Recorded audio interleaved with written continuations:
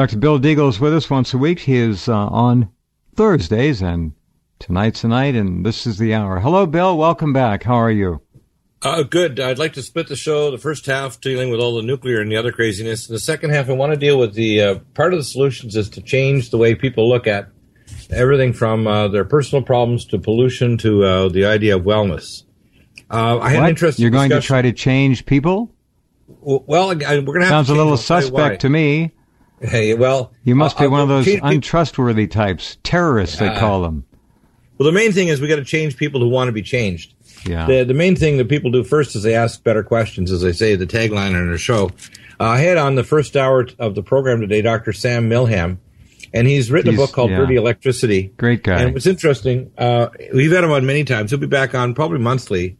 And uh, Sam is a retired doctor, and he goes around with his oscilloscope and his electronic equipment and he's written this. He's actually one of our teachers in the Academy of Environmental Medicine, along with Dr. Uh, Bernhoft. Uh-huh. And uh, I'm in the process of putting together a federal lawsuit here in San Diego County against San Diego Gas and Electric and the Public Utilities Commission.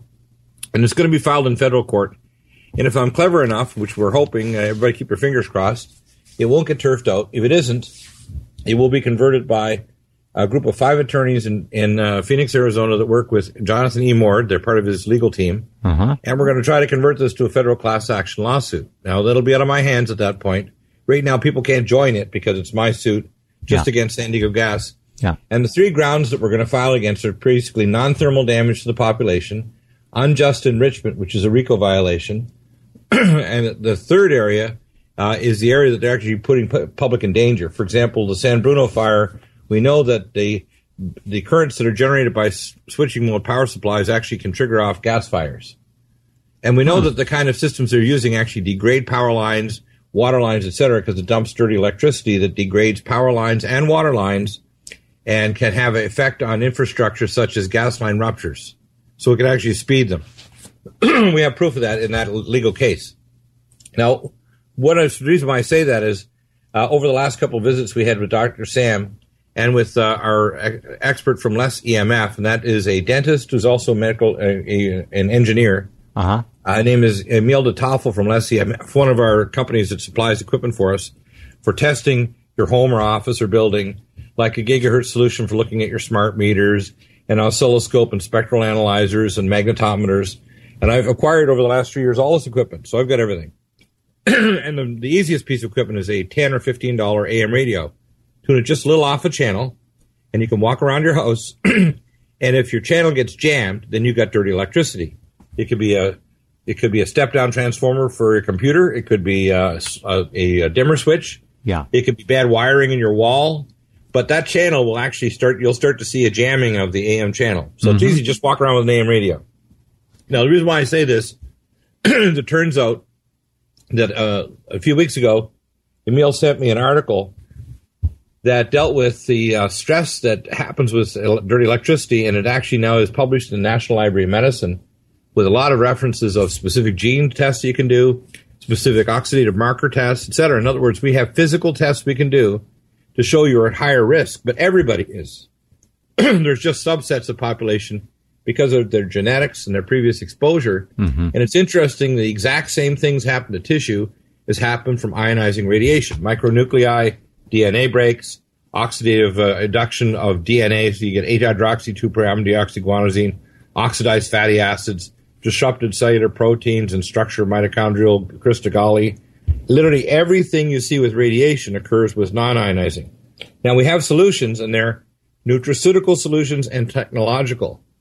and the one of the problems I see is we're probably not going to change the, the, the momentum toward bad financial decisions worldwide, Correct. the momentum toward war worldwide, yeah. or the momentum toward societal breakdown worldwide. But what we can do is we can insulate ourselves by taking the right nutraceuticals, not taking the toxic drugs, knowing what drugs are safe, and there's a very tiny number, maybe about one in ten. By the way, a lot of supplements, uh, as Bill will tell you, are not pure, not wholesome, and not good for you. That's right. The well, the ones truth. we carry are of a, a class that is stellar if you don't take protection now, if you don't detox your body from radiotoxins from Fukushima, heavy metals, fluoride, etc., and you add now electrotoxins from dirty electricity, smart meters, etc., even the Zigbee network that there's communicating on is the same as the microwave frequency of your microwave. So it's literally turning your house into a low level microwave. So I tell people it's not optional to take nutraceuticals. And uh, give an example. One of the things that's been shown very clearly, and this is comparing, uh, you know, groups of the population that live in America. Then they buy a building, they strip the electricity. You know what I'm talking about, right? Yeah, yeah. Right. And those farmers and those people, we don't even need to mention their name. Mm-mm. They lived at the beginning of the century 20 to 30 years longer than the average population in New York City. They lived 75 years compared to 45 in New York. And they still live longer, even though they eat a diet that you'd think would kind of clog all their arteries off and make them demented and do lots of things. Their children don't get vaccinated. They don't live with electricity at all. Right? Yep. And they try to live a kind of much more subsistence life. They don't use pesticides and other right, things that will right. kill off bees, like neonicotinoid pesticides and this dirty electricity is jamming the the uh, navigation system for the pollinating insects. So they, they're literally we're going to soon be stuck with gruel. Routine the various ways we're screwing up the atmosphere. We're also putting nanoparticles in the upper atmosphere to literally weaponize the well, planet. Just, just wait until Google releases its 180 plus satellites to ring the planet and bathe it in Wi-Fi. Just wait. Right. Well, see, Wi-Fi basically your cells are Wi-Fi. And if you have the same frequencies, your cells don't know what the hell's going on. So specific enzymes tuned to a certain frequency, those frequencies were discovered by both the Russians and the Americans independently. And when they spied on each other, they were surprised that they found the same frequencies that were lethal to cells. These frequencies are blocked by things like the Stetzer uh, capacitors, which are low frequency toxic frequencies. And what they are basically is they're primarily harmonic frequencies for major minerals in the body, like zinc, metalloenzymes, and uh, you know collagen and you know uh, iron and other you know in other words they're basically major processes like glutathione peroxidase the various enzymes to protect you and minerals that can regulate enzyme activity and, and gene induction so what they're doing basically is they're jamming your cellular communication now uh, I want to walk this back because we did uh, half of the show last week. We talked about a little 12 year old boy theoretically that I could try to help. It probably, considering this little boy, would require intensive work on this little fellow for a doctor to spending an hour a day at least for months, plus everything from IV therapy to enzymes to, you know, uh, plethora of nutraceuticals, uh, to digestive enzymes, to immunotherapy. And if he's bad enough, the poor little fellow might even require a bone marrow transplant. Most of the people that have been exposed even to lower level radiation, like say on the Ronald Reagan, if they're relatively healthy now, they should have a bone marrow drawn, and this is advice to them, and they should have it banked right away because if they crash or they get cancer and their doctor suggests, you know, whole body radiation or chemotherapy, if they don't have a bank bone marrow, they're really screwed. So uh, that's a smart move to make, and that's a medical move. There are medical things that I tell people to do that make sense, and there's other ones that don't. And the other thing you might do is check your relatives to make sure who has the closest matched bone marrow if you crash. Because if you don't know this in advance, you can die because the doctors are scrambling around and don't have that data. Um, we're living in a world that I think is terminal. And uh, I know this is really bad news for people, but they need to hear it.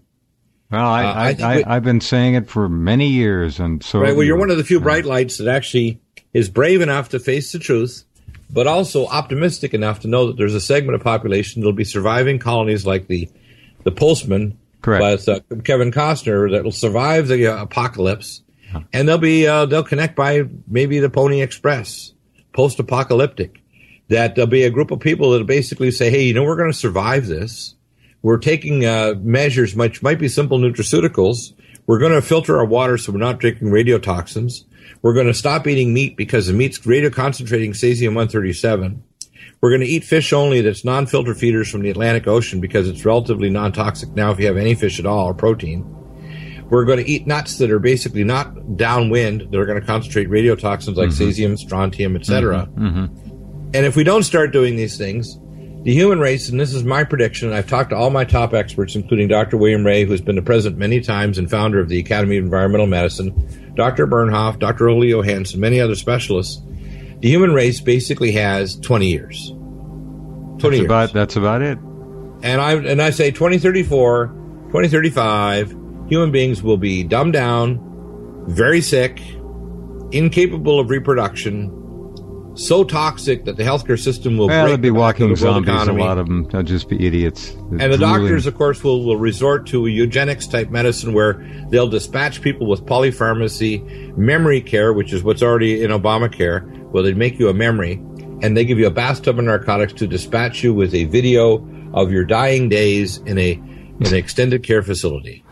It's it's sad, but it's so and that's it, we can avoid that future if number one we become aware of the present and face it. But it means nutraceuticals now. It means a diet change. It means filtering your air in your home.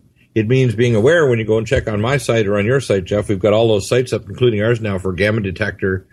That this is not a joke when we're looking at, at Cesium 137. This is not a joke when we talk about fluoridation, GMO food that makes animals that you eat make your sperm count drop to zero or cause bone cancer. This is not a joke when we're dealing with radiotoxins that are bioaccumulating in the next four, five, ten years. The things that are happening to Japanese people now are going to happen to us. It's Yes, not sir. a joke. You know, they are They- actually they already are happening to us. They are happening, slow, and people don't know it. slow, incrementally. Uh, Well, not so along- slow, actually. all along We the had- coast. Listen to this. Within six weeks, six weeks, the highest intensive, largest intensive care nursery in Pennsylvania had a 42% increase in fetal mortality rate in premature babies. Yeah, well, our, 42%. up- It's up eight times here in uh, in Washington State. Right. When you look at birth uh, defects like anencephaly, no brains, yeah, eight times. other uh, major brain defects like uh, the falx cerebri and everything are gone. Mm-hmm. Uh, it's massively increased. yep. When we look at thyroid cancer, thyroid nodules, one of my favorite guys on TV is the guy and his lady, Tarek and Christina on Flip or Flop, They kind of take homes, they're realtors, and they flip them. And they're up in Orange County. One of the nurses watched him and actually had a great big damn lump in the bottom of his neck.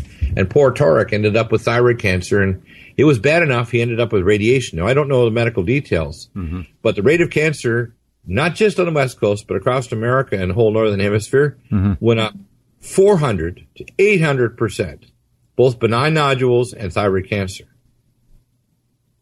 And Yeah, as these yeah. longer isotopes bioaccumulate, you're going to see more bone marrow cancers, heart failure, cardiac arrhythmias, atrial fibrillation, dementia, gland failure, polyglandular failure, breast cancer. The research on small mammals is cesium 137 is tied directly and linearly, exponentially to breast cancer. So you're going to see breast cancer go orbital.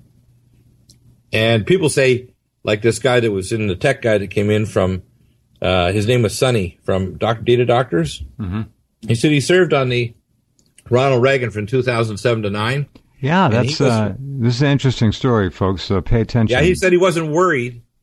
He wasn't worried about the radiation. I said, well, I said, well, the Ronald Reagan is now, they're considering dumping it in the ocean because they tried to remediate with many millions of dollars, stripping all the wiring and ventilation. eighteen months. Eighteen months in Right. Seattle. And his eyebrows went shit. up, and I said, and many of the crew now are dying after passing through the plume three times. And I said, you're not worried? You're not worried when 5,500 miles, those radioisotopes are just as hot and radioactive as when they arrive in the California coast as they arrive in Belarus or over the poles or arrive in, in North Africa or anywhere. Those isotopes don't know where they've been traveling. Uh, as long as the isotope hasn't changed its atomic structure, it's still got its high energy KeV electron emission, uh, neutron flux, or any other biological factor related to its its its, its nuclear activity. I said the, the nuclear chemistry. I said I'm a nuclear chemist. I was a radiation doctor for ACOM, American College for Occupational Environmental Medicine. Took when I told him all this stuff, and his eyebrows really went up. I said, "You're not worried?" I said, "We don't know when or how or if it's going to go up." No. but we're going to monitor it. So we're looking only at gamma, which means we're only really looking at cesium 137. So if we look at our curve and all of a sudden we see a trend line where it's going up from 40 counts a minute to 60 to 70 to 80, Uh-huh. we got a problem, Houston. Yep. When I said that to him, you could tell he shut up. He realized, like, oh, damn. I said, you know, people like you that try to dismiss it because it's okay, you're tough guys. Tough guy doesn't do it.